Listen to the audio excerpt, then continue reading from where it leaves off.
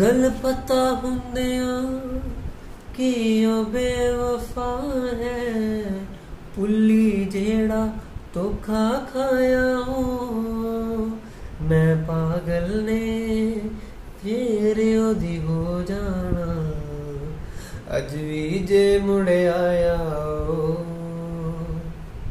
ਮੈਂ ਪਾਗਲ ਨੇ ਫੇਰ ਉਹਦੀ ਹੋ ਜਾਣਾ।